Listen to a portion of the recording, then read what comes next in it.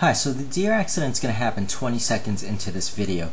And what I wanted to show you here is just what a full sense of security you get. For example, I am passing two oncoming cars here. So you would figure that what is up front is actually clear and that the road is clear. So that sort of gives you a little false sense of security. Plus you'll notice out front I am actually following a car here.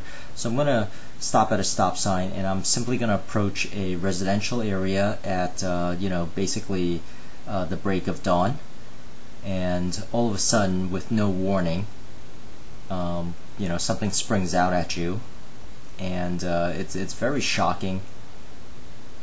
And I'll play this back in slow motion also.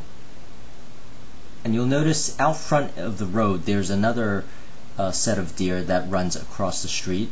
And once again out front there is also another car.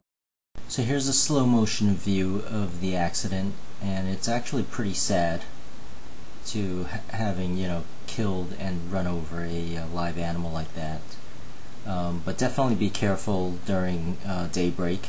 And um, you know might be worth getting one of those deer whistles that you mount on your mirrors or car. And I hope this helped and uh, please subscribe and thank you for watching